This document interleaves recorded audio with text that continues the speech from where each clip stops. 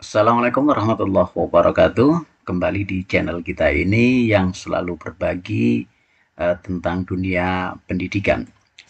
Kali ini uh, saya akan memberikan sedikit solusi bagaimana kalau sertifikat teman-teman, sertifikat PMM sudah di-download tetapi ada yang perlu diperbaiki.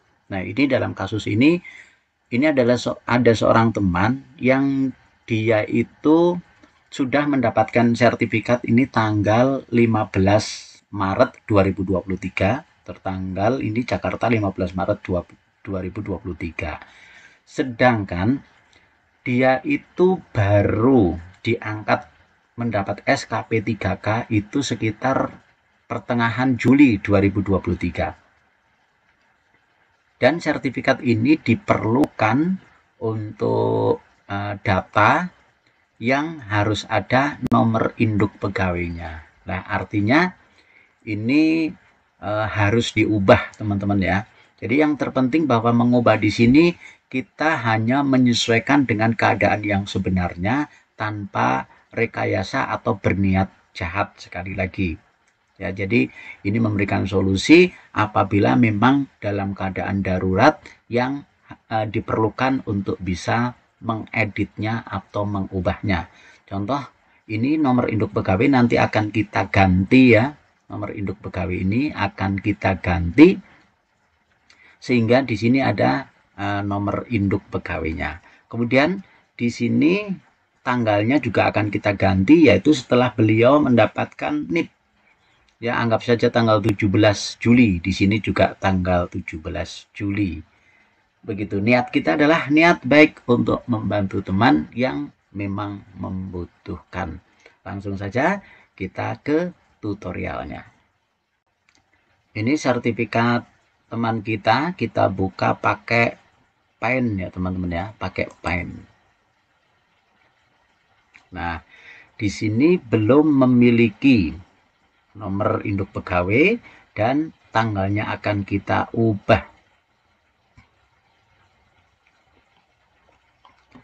Ini kita akan pakai penghapus di sini. Ya, ada beberapa cara tapi kita pakai penghapus saja yang mudah. Kemudian ini akan kita hapus ini, teman-teman. Nah, seperti ini. Kita hapus. Ya, seperti ini. Selesai. Angkat. Kemudian ini juga kita hapus.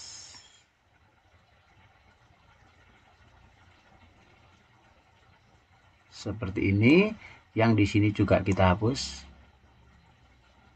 oh ya ini menghapusnya adalah ditekan kemudian sambil ditahan ya. Di diklik sambil ditahan namanya di drag ya. Nah kemudian ini yang kosong ini akan kita beri nip ya. Misalnya nipnya sekian sekian gitu ya.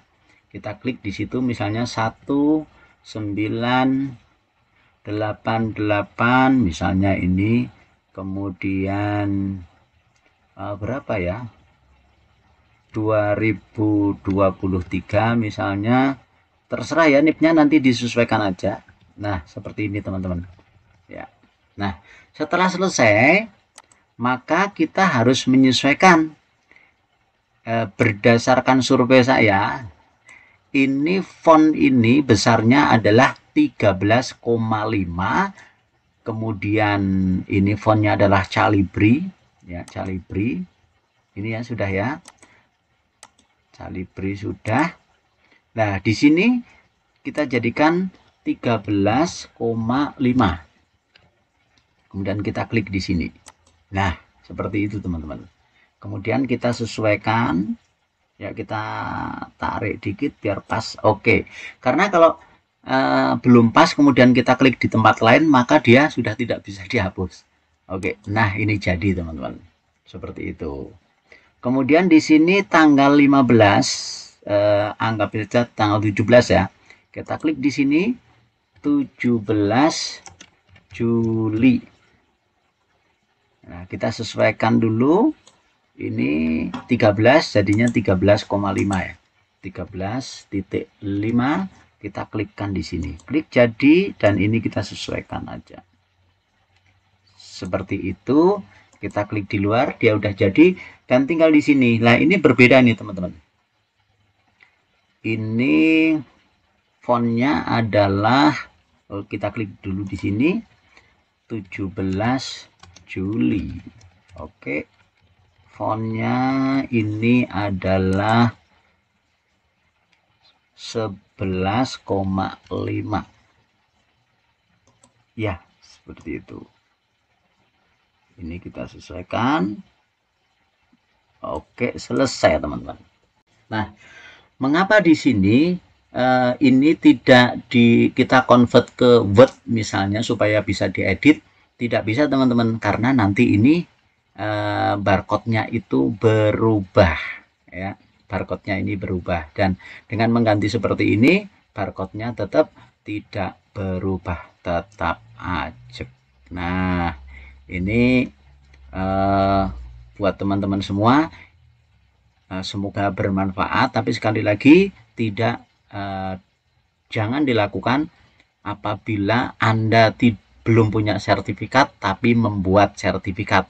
Itu namanya adalah uh, pemalsuan atau uh, penipuan ya teman-teman. Ini hanya sebagai pertolongan karena teman kita itu memang sudah mendapatkan sertifikat hanya saja harus disesuaikan dengan keadaan yang sebenarnya.